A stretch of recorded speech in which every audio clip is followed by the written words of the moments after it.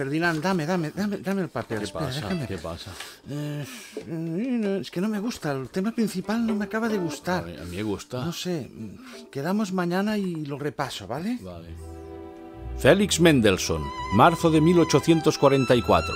Primer ensayo con el violinista Ferdinand David, a quien dedicó su concierto para violín y orquesta en mi menor.